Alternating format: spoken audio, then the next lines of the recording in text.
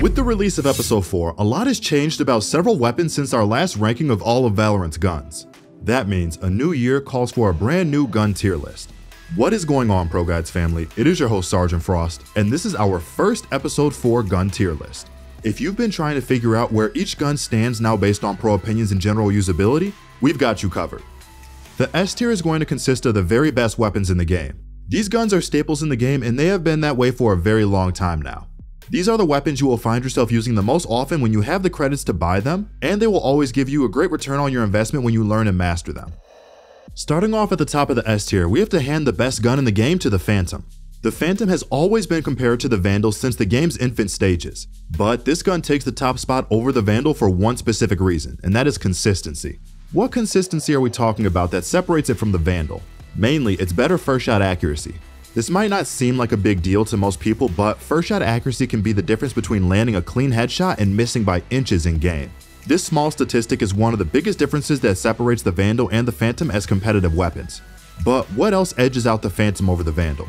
Well, the Phantom has better recoil, spread, faster fire rate, a silencer to remove tracers, a bigger magazine, and also the ability to one-shot to the head at closer ranges still. For defenders, the Phantom is almost always better because you can better choose your fights and use the Phantom to its strengths. We will admit that the Vandal's one-tapping is great and it feels really good to use in game when your aim is on point, but the Phantom is just a better overall weapon and a more complete weapon for most situations. Even though we did rough the Vandal up a bit in our Phantom conversation, the Vandal is still the uncontested second best weapon in the game. It does lack some of the versatility that the Phantom has, and at sometimes it shows. For instance, if you are a more controlled, methodical aimer that likes to tap, then the Vandal is for you. If you are a fast player that likes to flick around a lot and spray a lot, the Phantom would be a much better alternative option than the Vandal for you then. The selling point for the Vandal is this gun's one-shot potential for headshots, which does give it a nice small but significant advantage over the Phantom. The Vandal's one-shot headshot range is infinite so as long as your aim is true, you will always be able to knock their heads off. The Vandal does lack in terms of recoil control, firing speed, and it is harder to use but the Vandal definitely has its place in many players' hearts as their favorite gun, and it can be used to great effect on larger maps such as Breeze, Icebox, and Haven in particular, where longer range gunfights and headshot angles run rampant. And of course, you also need some solid aim if you want to make the Vandal work its magic in your games. That's why we recommend you try out Aim Labs, the best free aim trainer on the market. Not only does it have pro-created playlists, it also tracks your scores and metrics to make your improvement feel more tangible. So if you haven't downloaded AimLab yet, make sure to click the link in the description to download it today. Closing out the S tier, we have to give the final spot to the Operator. This gun dominates games when it's put into the right hands, so it only deserves the highest of praises that the S tier will bring this gun. The Operator is without a doubt the best bolt-action rifle in Valorant currently. Once the Operator got its new price of 4,700 credits in Episode 3 last year, the Operator became a lot more popular and saw a lot more use once it became more affordable. But after it did receive some nerfs to stomp out the aggressive AWPing meta, this gun is more suited for defense-sided play, as that plays to its game strengths a lot more. But what really makes the Operator S tier is Jett. Her ability set is all about repositioning, and with an Operator, you're almost untradeable at times because of her dash, taking an already scary gun to new heights. Another agent that has been recently going hard with this gun is also Chamber, as he has a similar ability to reposition with the snap of a finger, literally. At the top of the A tier, we have none other than a good old-fashioned Odin, the recent Ares hype has given this gun a bit of a boost in the meta as more people are starting to use this gun in games to take part in the LMG craze.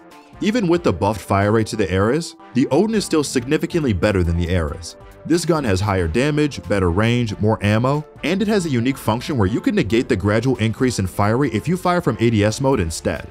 The Odin has a lot of benefits and positives that separate this gun from its Ares counterpart. However, with good does come a little bad.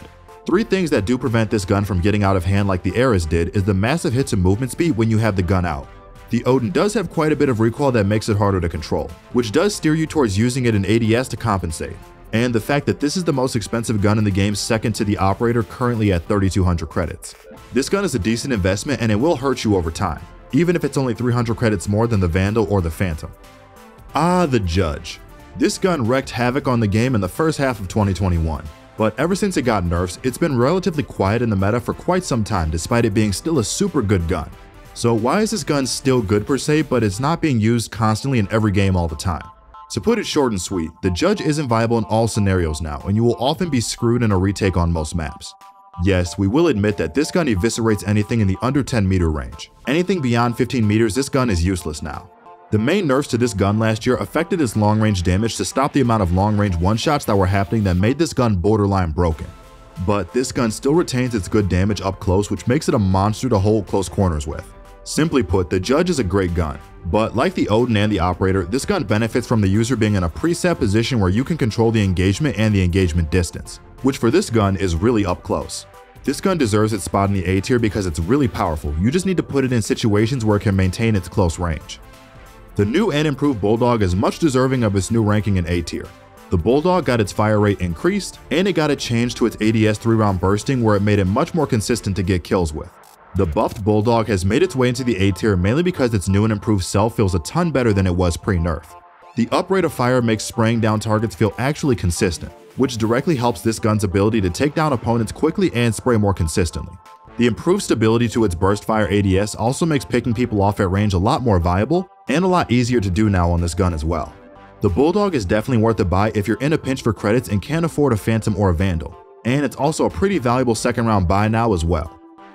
Next up in the A tier, we have the god of precision guns known for its satisfying one-taps, the Sheriff. At a relatively cheap 800 credits, the Sheriff is arguably the strongest sub 1000 credit gun in the game for how powerful it is. The weakness of this gun is that it requires an exceptional amount of skill to use well, and losing composure while using this gun will screw you over very quickly. As a result of its recent movement accuracy changes in patch 3.0, the Sheriff is more like a sniper pistol now, so look to hold down more angles and avoid swinging and spamming it like Cole Cassidy's gun in Overwatch. Once you learn how to pace your shots with this gun without falling behind in a gunfight, the Sheriff will become your most reliable sidearm guaranteed, and you'll make eco rounds a nightmare for the enemy team. For everyone who freaked out at the Spectre's nerfs, don't worry, it's still an A tier gun at minimum. In patch 4.0, the Spectre got its yaw recoil adjustments nerfed, and even more importantly, it got its maximum range damage nerfed as well. A lot of players thought it was the end of the Spectre's reign as a second round buy go-to gun, but it is still usable when you use this gun for what it was designed for, which is close range combat. Although its long range capabilities are significantly worse than it was before, you realistically don't want to put yourself in those situations anyway, so it doesn't hurt to practically use it in most cases. As long as you stay away from long range spraying with this gun, the Spectre is still a more formidable weapon to use consistently to get kills with on half buy rounds. Now let's move into the B tier, for the gun ranking we know you've all been waiting for, let's have a little conversation about the Ares. Some people might be yelling at their monitors that this gun should be first spot S tier, mainly because the start of episode 4 gave the Ares some monster buffs. But after the most recent hotfix last patch, this gun now has more added recoil to compensate for the buffs that it was given in patch 4.0 along with a slightly higher price tag. The Ares still has its 4.0 buffs which increased its fire rate from 10 to 13, and it still has its spin up time removed. Riot just compensated its power levels by messing with the recoil and accuracy. So did they fix the gun? Yes and no. Yes, this still is a sizable nerf that can be felt as this gun now kicks a lot harder and feels really hard to control when spraying at medium to longer ranges. But also no because this gun still has its insanely fast fire rate and it still has no spin up time which means it can shred multiple people quickly at closer distances. The Ares is not top tier by any means because its counterpart the Odin is still an objectively stronger LMG, and it's also not strong enough to compete against the Phantoms and the Vandals consistently like it was able to before the hotfix. So it's not a busted force buy gun anymore. But man, I still remember the first few days after episode 4 patch, it literally wouldn't matter if you won pistol round or not, because second round both teams would have Ares plus armor running it down mid. The Marshal is sitting pretty in B tier as well, with it being a potent sniper for both force buys and anti-ecos. Last year, it got a price reduction from 1100 credits to 950, and it's been popping up a lot more in the community. The Marshal is a great gun because it essentially has the same power of a Sheriff but with a scope and a nice hipfire spray as well. The gun's high movement speed and no-scope accuracy makes it much more viable to go for quick peeks in hopes that you can soften up enemies for your teammates. This gun is the king against eco buys, allowing you to one-shot enemies from afar and cut the attack down before they get near you. But the reason why this gun isn't up in the A tier like it was in the past is actually because the community has sort of gotten used to how strong the Marshal can be if you're not careful. And most players know how to properly play around the Marshal so that you won't be blindly feeding kills in the round. As a result, the Marshal is surprisingly tame for how scary it looked in the hands of crack players like TenZ soon after its price changes. Now, it's a great gun to use when you need a range advantage, but it's not comparable to bigger and better buys on full buy rounds especially when utility is involved. The Ghost has been the go-to gun on pistol rounds since the game's release, and not much has changed since then in regards to the gun's priority in the meta. It is a reliable weapon that can land one-shot headshots on unarmored targets at range. And when you learn how to not spam it, you can land enough shots to put your enemies down relatively quickly. If we're being honest, I don't see the Ghost being bought that often outside of the initial pistol rounds. If you're going to upgrade your classic, you may as well buy the Frenzy or the Sheriff. The Ghost has its uses, but some agents specifically benefit from keeping their classic and buying armor and abilities. This gun is a situational buy depending on what agent you're playing, and it's rarely a gun pulled out on rounds outside of the pistol round. The Guardian got a minor buff to start the new year to how its fire rate works when in ADS mode. This made the gun a bit smoother to shoot when you are using aim down sights, which you will find yourself doing often when using this gun. But outside of that minute buff, the Guardian is not worth the buy when you can instead go for a Bulldog if you're short on credits. The range this gun aims to compete against is with the Vandal, Phantom, and Operator. With the gun's low fire rate and high recoil, it's often going to lose unless the user is in a significantly better position or really hits a good shot. As such, it's a high risk medium reward gun because it doesn't have the potential to take over a round, but it is definitely strong enough to make an impact in a dueling situation. Overall though, it's not very reliable and we don't recommend you use this gun unless you feel particularly crispy and you're using an agent with escapes like Jett or Chamber. The Frenzy has all but disappeared from the meta ever since it got nerfed earlier last year. It can be used as an alternative to the Ghost for agents that would upgrade their guns on pistol rounds. But in reality, if you have a good aim, the Ghost one-tap potential is much better than the Frenzy's running gun potential. It's still a very powerful gun, but it is a little more niche and harder to find consistent value with now. Some duelists prefer to run this since it definitely has got its advantages at closer ranges. But in general, this gun has very limited uses and you rarely see it on pistol rounds let alone eco rounds. Do you guys remember the Stinger madness that took place in episode 2 last year? It's been an entire year since then, but I still remember it like it was yesterday. This gun never regained its popularity after its nerfs, but it can still be used on save and eco rounds from time to time. Its blazingly high rate of fire can help you secure quick kills when you manage to close the distance on enemies. The burst fire option is pretty good with some practice, but it honestly isn't worthwhile to practice using this gun with for that specific purpose since there are better buys for this price, like a Marshal or a Sheriff for example. And now closing it out with the S tier, just like the Stinger, the Bucky never fully recovered from its fall from grace after it got hit with some substantial nerfs last year. The right click function made the Bucky worth using since it could secure kills at medium to almost long-ish ranges. This made the Bucky a menace for quite some time because its cheap price and high damage made this thing a force to be reckoned with on smaller maps where its range could be abused.